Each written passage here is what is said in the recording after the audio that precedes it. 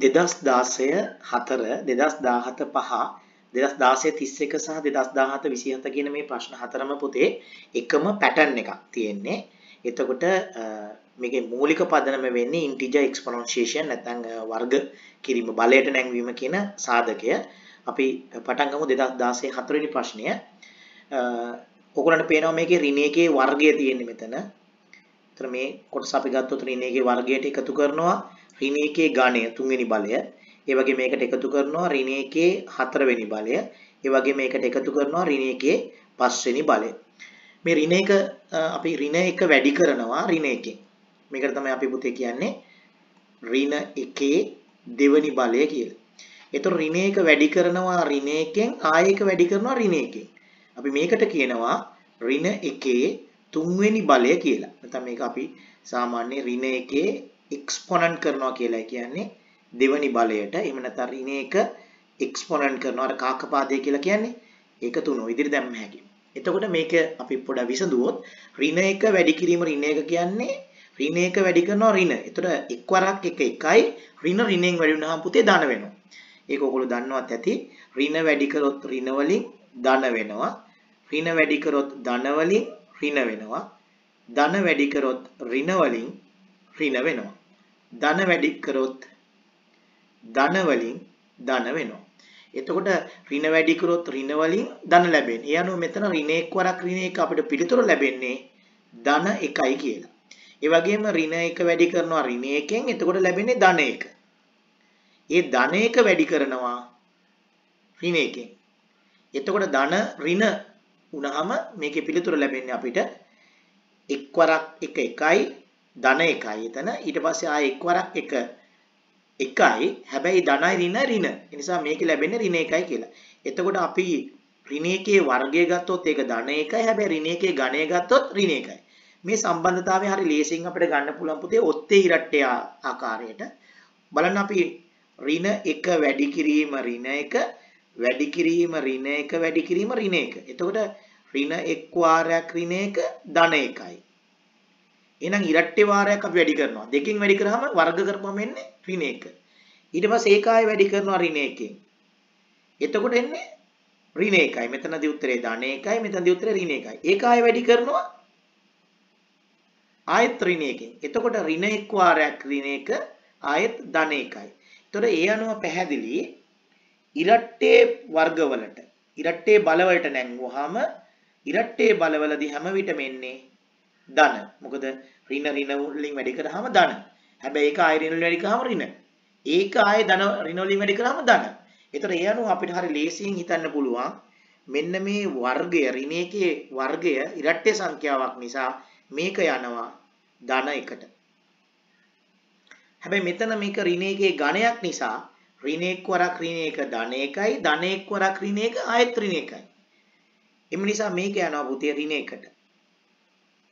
ඊළඟ මෙතන යනවා ඍණ එක ඒවා ආයත් හතරවෙනි බලය. ඒ කියන්නේ ඍණ එක් වරක් ර්ණ එක ධන එකයි, ධන එක් වරක් ර්ණ එක ඍණ එකයි. හැබැයි ආයෙත් ඒ ඍණ එක් වරක් ර්ණ එක ධන හතර يعني හතරවෙනි බලය නිසා ඒක ධන එක බවට පත් වෙනවා. ඒතර ධන එකයි එකතු කිරීම. ඊට පස්සේ මෙතන තියෙන ආයෙත් ඔත්තේ ඔඩ් ඔඩ් අවස්ථාවක් මේක ඊවන් අවස්ථාව. ඒතර ඊවන් අවස්ථාව ඍණ එකේ ඊවන් බලයන් ගත්තොත් එන්නේ ධන එක.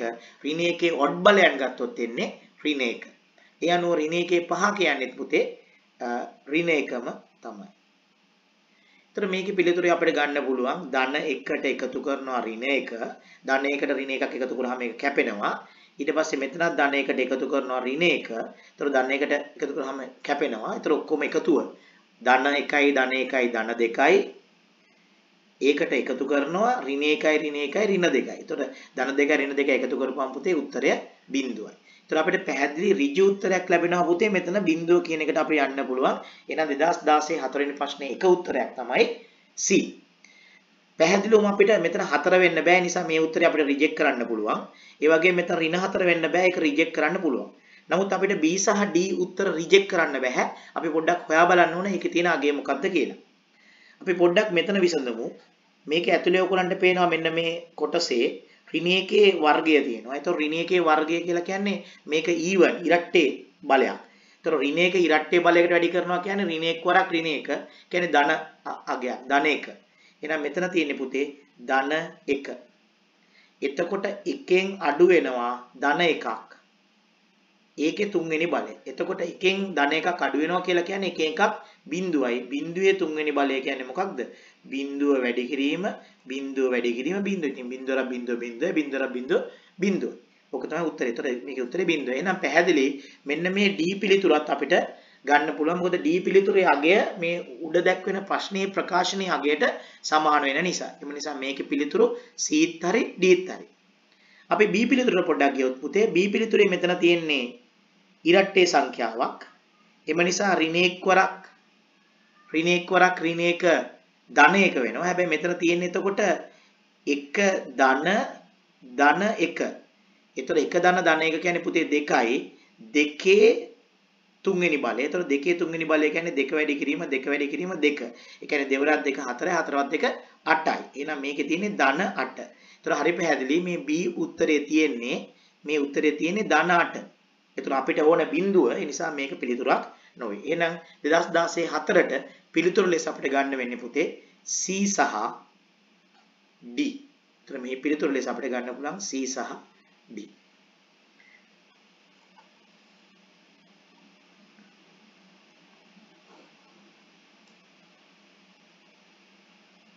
හරි. අපි ඊළඟට යමු 2017 පස්වෙනි ප්‍රශ්නෙට. මේකෙත් අපිට දකින්නට පුළුවන් ඍණයකේ වර්ගයක්. ඒතර ඔබට පේනවා මෙතන මේ වර්ගය. මේ වර්ගය කියන්නේ පුතේ හැමතිස්සෙම ඍණ එක වැඩි කිරීම ඍණ එක. කොහොමත් මේ එකේ කොච්චර වර්ග කරත් පුතේ එකේ බලය එක්වරක් එක එකයි ඊළඟ එක්වරක් එක එකයි එක එක එකේ වැඩි වෙන්නේ. නමුත් මේ ලකුණ මාරු වෙනවා. මොකද ඉරට්ටේ නම් ලකුණ යන්නේ ධනවලට. ඒතර මේ කියනවා ධනයකට. ඍණ එක වැඩි කිරීම ඍණ එක වැඩි කිරීම ඍණ එක.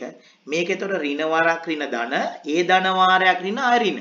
ඒ නිසා අපිට මේ වගේ ඉරට්ටේ අවස්ථාවක් ආවොත් ඊවන් අවස්ථාවක් ඊවන් බලයක් even exponentiation එකක්. අපි මේ කියන්නේ exponent එක කියලා. ඒතකොට exponent එක even නම් ඉරට්ටේ නම් ඒක යන්නේ ධනයකට. exponent එක odd නම් ඔත්තේ නම් ඒක යන්නේ ඍණයකට. මොකද ඍණ එක් වරක් ඍණ එක ධන එකයි ඒ ධන එක වාරයක්. ඒතර මේ දෙකේ output එක ධන එකයි ඒ ධන එක වාරයක් ඍණ එක ආයත් ඍණ එකයි. ඒ නිසා මෙතන මේකේ බලය 3 නිසා එතන යන්නේ පුතේ ඍණ එකට. එතන අපිට මේකේ පදේ උඩ ගන්න පුළුවන් ඍණ එකේ දෙවනි බලය යනවා ධන එකයි එකතු කිරීම ඍණ එකේ තුන්වෙනි බලය යනවා ඍණ එක් වරක් ඍණ එක ධන එකයි ධන එක් වරක් ඍණ එක ආයෙත් ඍණ එකයි. එතකොට ඍණ එකයි.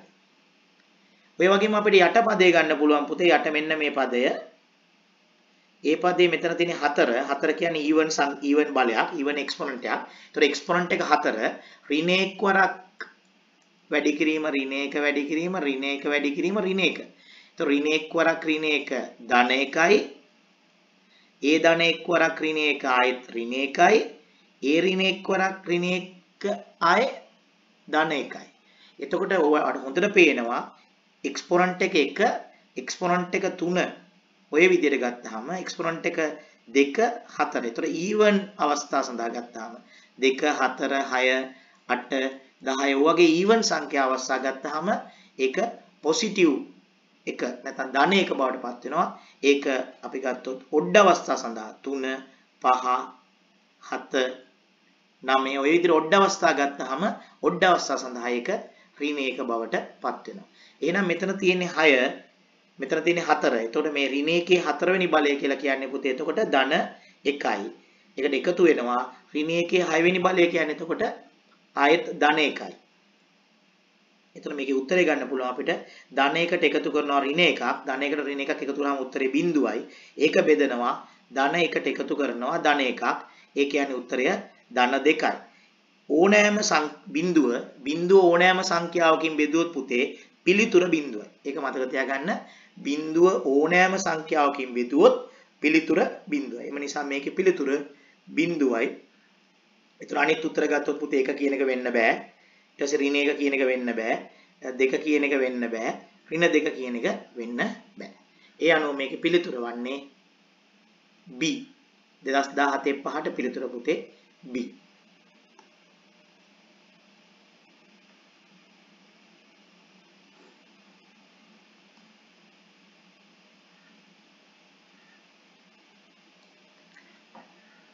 අපි 2016 31 වෙනි ප්‍රශ්නයට යමු. 2016 31 වෙනි ප්‍රශ්නේ අපිට දීලා තියෙනවා x වල n term එක. ඒතර x වල 100. ඒතර ඔයගොල්ලන්ට පේනවා මෙතන x වල n term එක කියන එක අදහස් කරන්නේ x වල 100. ඒකේ තේරුම n කියන්නේ 100 වෙනි අවස්ථාව කියන එක. ඒතර n සමාන 100යි. ඒතර ප්‍රකාශනය දීලා තිනවා එය දැක්වෙන්නේ මේකෙන් කියලා. ඒතර ඔයගොල්ලන්ට මේකේ පේනවා 3ට එකතු කරනවා දෙවාරයක් ඍණ එකේ n වෙනි බලය. එතකොට අපි මේක විසඳගෙන ඉමු. මේ කොටස වෙනම අපිට යන්න පුළුවන් තුනට එකතු කරන්න තියෙන මේක. එතකොට මේක අපි විසඳමු. ඍණ එක ඉස්සලා විසඳමු. ඍණ එකේ n වාරයක්. එතකොට ඍණ එකේ n වාරයක් කියන්නේ පුතේ n 100යි. අන්න දැන් මේ වගේ අවස්ථාවක ඔයාට මෙහෙම ලියලිය බල බල ඉන්න බෑ. ඍණ එක වැඩි කිරීම, ඍණ එක වැඩි කිරීම, ඍණ එක වැඩි කිරීම, ඍණ එක ඔහොම ඔහොම ඔහොම යන්න බෑ. එතකොට ඍණ එක් වරක් ඍණ එක ධන එකයි ඒ ධන එක්ක වාරක් ඍණ එක ඍණ එකයි ඒ ඍණ එක්ක වාරක් ඍණ එක ධන එකයි ඔහොම ඔහොම අපිට යන්න බෑ. ඒතර අපි පැහැදිලිවම දන්නවා මේක 100 කියන්නේ even number එකක්. 100 even number එකක් නිසා දෙකේ ඍණ එකේ 100 වෙනි බලය කියන එක. තුන ධන. එතකොට ඍණ එකේ 100 වෙනි බලය කියන එක එක් වරක් එක 1 1 1 ඔහොම එක එක වැඩි වෙන්නේ. හැබැයි ඒක 100 වෙනි වතාවකට වර්ග වෙනවා එක්ස්පොනන්ට් වෙනවා. එතකොට මේක even එක්ස්පොනන්ට් එකක්. එම නිසා අපිට කෙලිම කියන්න පුළුවන් මේක ධන එකයි කියලා. ඒ අනුව 3 ධන 2 වාරයක් ධන 1. එතකොට දෙක වාරයක් එක කියන්නේ 2යි. එතකොට 3 ධන 2 ඒ කියන්නේ පිළිතුර 5යි. එහෙනම් මේකේ පිළිතුර වන්නේ 5යි. එතකොට ඒකේ 3 වෙන්න බෑ. 2 වෙන්න බෑ. 1 වෙන්න බෑ. ඍණ 5 වෙන්න බෑ. එම නිසා පැහැදිලි මේකේ පිළිතුර වෙන්නේ C පිළිතුර. එහෙනම් 2016 31 වෙනි ප්‍රශ්නේ පිළිතුර C.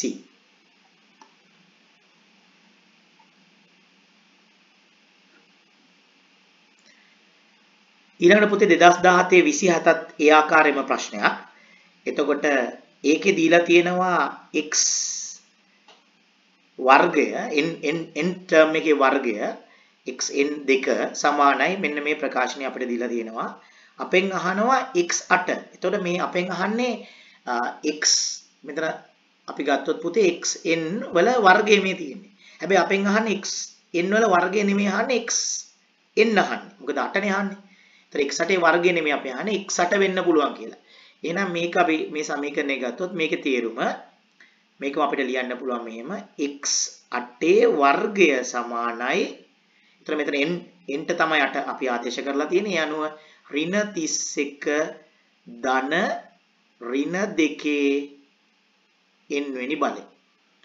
ඒතර අපිට මේක තවදුරටත් ලියන්න පුළුවන් පුතේ ඍණ 31 මේ කියන්නේ මේ කෑල්ලට එකතු කරනවා මෙන්න මේ කොටස. ඒතර ඍණ 31ට එකතු කරන්න ඕන ඍණ 2 n කියන්නේ මෙතන දැන් අපි තෝරගෙන තියෙන n. n කියලා අපි අරන් තියෙන්නේ 8 8 කියන එලමන්ට් එක තමයි දීලා තියෙන්නේ n ඊයාගේ 8 වෙන අවස්ථාවේ. ඒතර එහෙනම් අපි මෙතන දාගන්න 8. එතකොට මතක තියාගන්න මෙතන 8 කිව්වහම ඒක even එකක්. එතකොට ඍණ සංඛ්‍යාවක් evenly වැඩි කරොත් ඍණ වාරයක් ඍණ ධනයි ඒ ධනයි ඊළඟ ඍණයි ඍණයි ඒ ඍණයි ඊළඟ ඍණයි ධනයි. එතකොට මේක අර මාරුවෙන් මාරුවට ඍණ ධන මාරුවෙන් මාරුවට යනවා ඉරට්ටේ අවස්ථාව. එතකොට ඍණ සංඛ්‍යාවක් වර්ග කරපිට ධන සංඛ්‍යාවකට මේ ප්‍රශ්න මතුවෙන්නේ නැහැ පුතේ. මොකද දෙවරක් ධන අපි දෙවරක් දෙවරක් දෙක ධන 4යි. ධන 4 වරක් දෙක ධන 8යි. ධන 8 වරක් දෙක ධන 16යි. ඒතර ධන දෙක වර්ග කරද්දී මේ ප්‍රශ්න මතුවෙන්නේ නැහැ. හැබැයි ඍණ දෙක වර්ග කරද්දී ඍණ දෙකේ ඒවා දෙකක් ධන 4යි. ධන 4 ඒවා දෙකක් හතරවත් දෙක 8යි ඍණ 8යි. මොකද දැන් ධන 4 ඍණ දෙකෙන් ආයෙ වැඩි වෙන්නේ. මොකද මේක ඍණ දෙකේ 8 වෙනි බලය කිව්වහම පුතේ ඍණ දෙක වැඩි කිරීම ඍණ දෙක වැඩි කිරීම ඍණ දෙක වැඩි කිරීම ඍණ දෙක වැඩි කිරීම ඍණ දෙක වැඩි කිරීම ඔය ඉදිරිය යන්නේ. එතකොට 1 2 3 4 5 6 7 ඍණ දෙක. ඒතර මේ අවස්ථාව අපි ගත්තොත් ඍණ දෙවරක් ඍණ දෙක ධන 4යි. ඒතර ධන 4 තමයි ඊළඟට වැඩි වෙන්නේ ඍණ දෙකෙන්. ධන 4 ඍණ දෙකෙන් වැඩිනවම 4 2 8යි ඍණ 8යි. ඊට පස්සේ මේක වැඩි වෙන්නේ ඍණ 8 වරක් 2 8 වරක් 2 16යි ඍණ 16යි. ධන 16යි. ධන 16. ඊට පස්සේ මේක වැඩි වෙන්නේ ආයේ 16 වරක් 2 එතකොට ඍණ 32යි. ඇයි මේක ධන මේක ඍණ ධනයි ඍණ ඍණ. ඊට පස්සේ ඒක වැඩි වෙන්නේ මේකෙන් 32 වරක් 2 64යි හැබැයි 64 ඍණයි ඍණයි ධන. ඊට පස්සේ ඒක වැඩි වෙනවා 64 වරක් 2 128යි හැබැයි ධනයි ඍණයි ඍණ. ඊට පස්සේ ඍණ 128යි ඍණ දෙකයි වැඩි වෙන්නේ. එතකොට උත්තර යන්නේ 256 ධන 256. එතන මේක අඳුර ගන්න ලේසි පුතේ මේක අපි 1 2 3 4 5 6 7 8. ඒතර එක්ස්පොනන්ෂියේෂන් එකකදී අපි x වල එක්ස්පොනන්ෂියේෂන් එකකදී මෙතන මේ n කියන සාධකය ගත්තාම ඒක එක්ස්පොනන්ට් එක බලය ඒ බලය ඔත්තේ නම් බලය ඔත්තේ නම් ඒ අවස්ථාවල අපිට ලැබෙන්නේ පුතේ ඍණ සංඛ්‍යා. හැබැයි ඒක ඉරට්ටේ නම් ඒක ඉරට්ටේ නම් අපිට ලැබෙන්නේ ධන සංඛ්‍යා. එම නිසා පැහැදිලි මෙතන අපිට වර්ග වෙන්නේ දෙකේ 8 ඍණ දෙකේ 8. ඒතකොට ඍණ දෙකේ 8 නිසා මේකේ ලැබෙන පිළිතුර ධන පිළිතුරක් විය යුතුයි. එහෙනම් මෙතන ලැබෙන්නේ ධන 256. ඒතර දෙවරක් දෙක 4යි, හතරවක් දෙක 8යි, අටවරක් දෙක 16යි, 16වක් දෙක 32යි, 32වරක් දෙක 64යි, 64වරක් දෙක 128යි, 128 වරක් දෙක 256යි. හැබැයි ධනද ඍණද කියන එක තීරණය කරන්නේ මේක ඊවන්ද නැත්නම් ඉරට්ටේද ඔත්තේද කියන එක මත. 8 කියන්නේ ඊවන් එකක්. එහෙනම් මේක ධන. හැබැයි මේකේ 7 තිබුණා නම් මේක ඍණ. මම ඒකත් පොඩක් දාලා තව චුට්ටකින් පෙන්නන්නම් පුතේ. ඍණ 31යි. එතකොට මෙතන ඍණ 31ට එකතු කරනවා ධන 256ක්. එතකොට 256 ඍණ 31 එකතු කරනවා කියන්නේ පුතේ 256න් 31ක් අඩු කරනවා හා සමානයි. මොකද ඍණ 30ක් එකතු කරන්නේ. ඒ කියන්නේ ධන 30ක් අඩු කරනවා සමානයි. 6න් එකක් 5යි, 5න් 3ක් 2යි 225. එහෙනම් මේකේ උත්තරේ 225යි. හැබැයි ප්‍රශ්නයක් තියෙනවා මේ 225 කියන්නේ xn නෙමෙයි. 225 කියන්නේ මේ සමීකරණයේ උත්තරේ. ඒතර මේ සමීකරණයේ උත්තරේ 225 කියලා අදහස් කරන්නේ xn වල වර්ගය. නමුත් මෙතන අපෙන් අහන්නේ xn අහන්නේ. xn වල වර්ගය නෙමෙයි අහන්නේ. එතකොට අපිට මේ සමීකරණය මෙහෙම සුළු කරන්න පුළුවන්. xn වල වර්ගය කියන්නේ 225 නම් xn කියන්නේ පුතේ 225 වර්ගමූලය. 225 වර්ගමූලය පුතා 15 ඔයගොල්ලෝ දන්නවා. 15 හැබැයි මෙතන අපිට උත්තර දෙකක් ගන්න පුළුවන්. මොකක්ද හේතුව? ධන 15 වැඩි කරනවා ධන 15ෙන් ඒතර ධන 15 ධන 15ෙන් වැඩි කරත් ලැබෙන්නේ ධන 250 225 ඒ වගේමයි ඍණ 15 වැඩි කරනවා ඍණ 15ෙන් ඍණ 15 වැඩි කරනවා ඍණ 15ෙන් ඍණයි නයි ධන වෙනවනේ එතකොට ඍණ 15 ඍණ 15 වැඩි කරත් ලැබෙන්නේ 225 එහෙනම් 225 වර්ගමූලය කියන පිළිතුර අපි ගත්තොත් 225 වර්ගමූලය කියන පිළිතුර ගත්තොත් ඒ 225 ධන සංඛ්‍යාවක් නේ පුතේ. ඒතර ධන සංඛ්‍යාවක වර්ගමූලය කියලා කියන්නේ මේකේ වර්ගමූලය ධන 15 වැඩි කිරීම ධන 15 කියලා ගන්නත් පුළුවන්. ඒ වගේම ඍණ 15 වැඩි කිරීම ඍණ 15 කියලා ගන්නත් පුළුවන්. එහෙනම් මේකට අපිට පිළිතුරු දෙකකට යන්න පුළුවන්. C පිළිතුරත් හරි D පිළිතුරත් හරි. නමුත් මම මේකේ වාට විශේෂ අවස්ථාවක් ගෙනලා කතා ගැන කතා කරන්නම් පුතේ. මොකද ඒකට හේතුව මේකට වැදගත් මේ කාරණය. ඔයාලට මේකේ අලුත් අදහසක් ඉගෙන ගන්න පුළුවන්. මොහොතකට හිතන්න මේක අපි හෙව්වේ මේ 7 වගේ සංඛ්‍යාවකට කියලා. එතකොට පුතේ මෙතන 8 වෙනුවට තියෙන්නේ 7. 8 වෙනුවට තියෙන්නේ 7. එතකොට අපි මෙතන මේ බලය නංවන්නේ 7ට. මේ බලය නංවන්නේ 7ට. හරිද? එතකොට ඍණ දෙකේ 7 කියලා අපිට ලැබෙන්නේ ඕගොල්ලෝ දන්නවා මෙතන 128 ඍණ 128 ලැබෙන්නේ. එතකොට හිතන්න මෙතන ලැබෙන්නේ අපිට ඍණ 31 ධන ඍණ 128. එතකොට ඍණ 31ට ඍණ 128ක් එකතු කරනවා කියලා කියන්නේ ඍණ අගේ වැඩි වෙනවා. ඒ කියන්නේ ඍණට ඍණ එකතු කරනවා කියන්නේ පුතේ ඍණ වැඩි වෙනවා. එතකොට 128යි 31යි අපිට මෙතන එකතු කරන්න ඕන පුළුවන් 131යි 8යි 9යි 3යි 2යි 5යි 159යි ඍණ 159යි.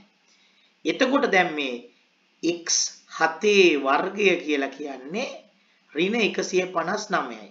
අන්න දැන් ඔයාට ඕන වෙනවා x 7 හොයන්න. එහෙම 7 හොයන්නම් ඔයාට සිද්ධ වෙනවා ඍණ 159 වර්ගමූලය හොයන්න. මෙන්න මෙතනදී ඍණ 159 වර්ගමූලය කියන එක අර්ථ දක්වන්න බෑ. ඒවට අපි කියන්නේ පුතේ ඉමේජිනරි නම්බර් කියලා. ඉමේජිනරි නම්බර් ඇත්තට මෙතන මේක ඉමේජිනරි නම්බරයක් විදිහට ප්‍රකාශ කරන්න අමාරු වෙයි. එතකොට අපි ඉමේජිනරි නම්බර් නැත්නම් අපි මේ කෙලිම ගන්න පුළුවන් not a real number කියලා. එතකොට මෙතන බැරි වෙලා හරි මේ even even අගයක් වෙනුවට ඔඩ් අගයක් වුණා නම් ඍණ එකක වර්ගමූලය හොයන්න අපිට බෑ. එතකොට දැන් මේක අපි හිතමු මොහොතකට මේක 159 නෙමෙයි 169 ආවා කියලා. 169 කියන්නේ 13 වර්ගමූලය. එතකොට ඍණ 169 මෙතෙන්ට ආවා නම් පුතේ මේක අපිට ලියන්න වෙනවා මෙන්න මේ විදිහට. ඍණ 169 වර්ගමූලය ආවා නම් ඍණ 169 වර්ගමූලය අපිට ලියන්න පුළුවන් 169 වර්ගමූලය ඇතුලේ වැඩි කිරීම ඍණ 1 කියලා. ඕක අපිට ලියන්න පුළුවන් 169 වර්ගමූලය වැඩි කිරීම ඍණ 1 වර්ගමූලය කියලා. එතකොට ඍණ 1 වර්ගමූලය කියන්නේ ඔයා දන්නවා i කියන නියතය. අපි අර්ථ දක්වන ඉමේජිනරි නම්බර් නියතය i කියන නියතය. එතකොට 169 වර්ගමූලය කියලා කියන්නේ 13 169 වර්ගමූල කියන්නේ 13. ඒතර අපිට මේක ලියන්න පුළුවන් 13යි කියලා. මේ 13යි කියන්නේ රියල් නම්බර් එකක් නෙවෙයි. මේකට කියන්නේ අපි ඉමේජිනරි නම්බර් කියලා. ඒතර මේ 13යි කියන්නේ ඉමේජිනරි නම්බර් එකක්. එහෙම ආවනම් බැරිලා හරි එහෙම නැතුව අර A ධන bi ලෙස ඒ කියන්නේ මෙහෙම එකකුත් එක්ක තව රියල් අංකයකුත් එකතු වුණා නම් එතකොට අපි මේකට කියනවා පුතේ කම්ප්ලෙක්ස් නම්බර් එකක් කියලා. එතකොට 169 වගේ ආවා නම් ඒක කම්ප්ලෙක්ස් අංකයක් නෙමෙයි. හැබැයි මෙතන ඍණ 159 තියෙන නිසා අපි ඒකට කියන්නේ ඔක කම්ප්ලෙක්ස් අංකයක් වෙනවා. ඒක ඉමේජින් නම්බරයක් වෙන්නේ මේ වගේ නියතයකින් වැඩි කරන්න අපිට පුළුවන් නම්. එතකොට මේ ප්‍රශ්නෙට පිළිතුරු වෙන්නේ මේකේ අපිට තියෙන 8 7 නෙමෙයි. එම නිසා මේ ප්‍රශ්නෙට පිළිතුරු වෙන්නේ C සහ D. එතකොට C උත්තරේ ගන්නත් පුළුවන්. ඊට පස්සේ D උත්තරේ ගන්නත් පුළුවන්.